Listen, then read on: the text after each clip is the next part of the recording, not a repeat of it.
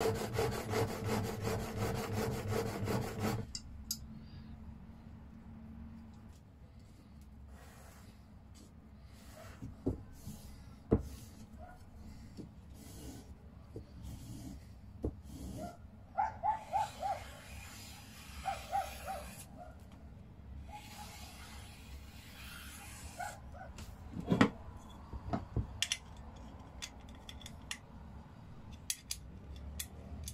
Hola, mi nombre es Pablo Verdugo y bienvenidos a mi taller. Hoy les voy a mostrar mi método con el cual afilo mi cepillo carpintero. En este caso, vamos a afilar la hoja del cepillo número 5. Como se darán cuenta, esta hoja no está dañada ni golpeada y tiene un microbicel a 30 grados. Y simplemente vamos a reafilar. Como se darán cuenta, este tiene un microbicel a 30 grados, como les dije, y tiene una pequeña comba. Por lo cual la piedra 400 y 600 no la vamos a utilizar porque no necesitamos devastar. Simplemente vamos a utilizar la, lámina diamantada 1000 y luego vamos a utilizar la lámina diamantada 1200 para terminar de reafilar.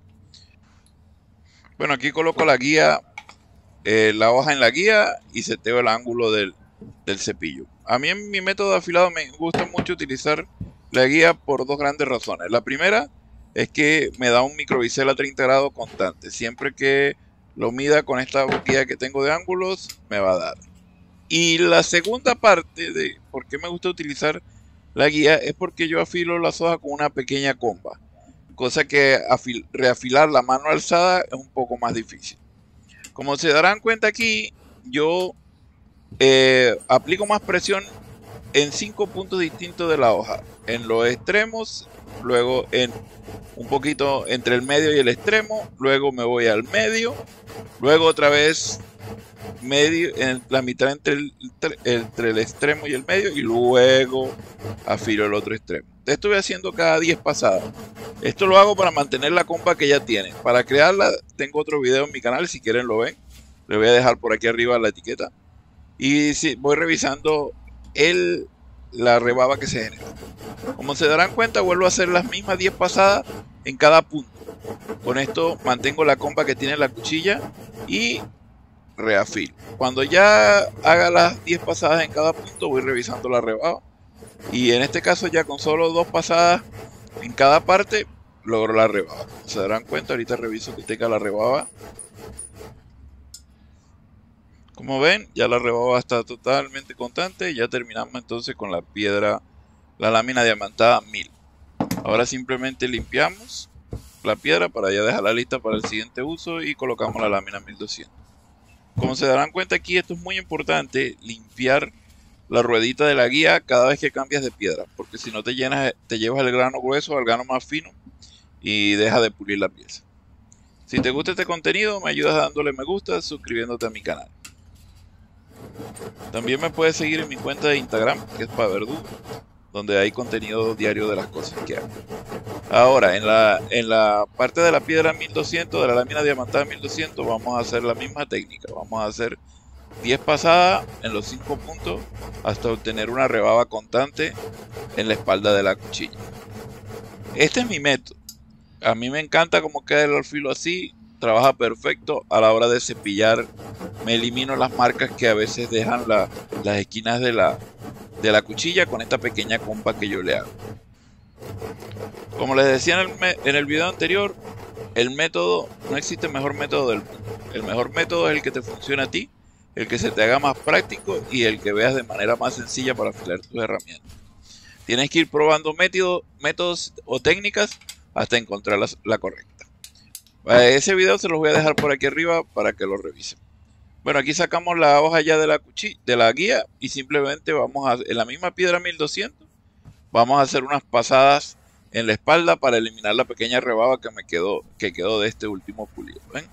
Hacemos unas pasadas con cuidado, apoyando bien la hoja hasta que eliminemos la rebaba.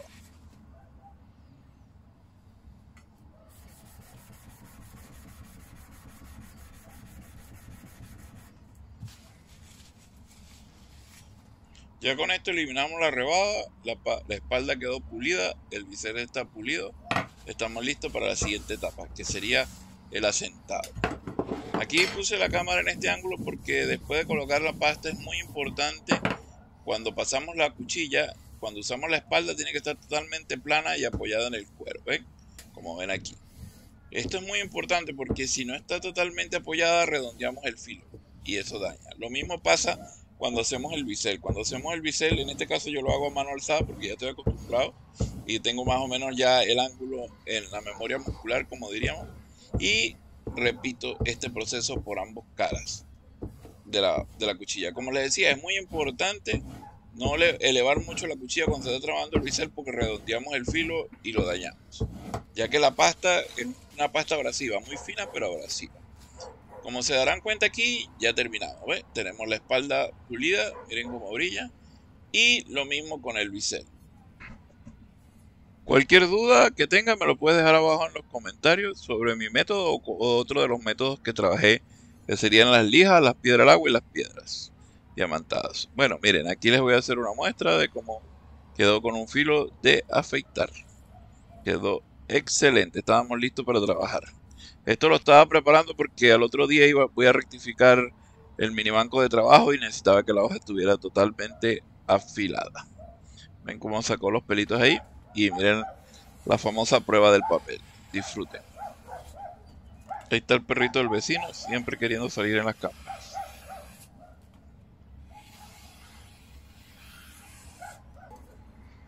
Como ven, ya tenemos la hoja lista y afilada para trabajar. Espero que les haya gustado y nos vemos en el próximo video. Gracias totales.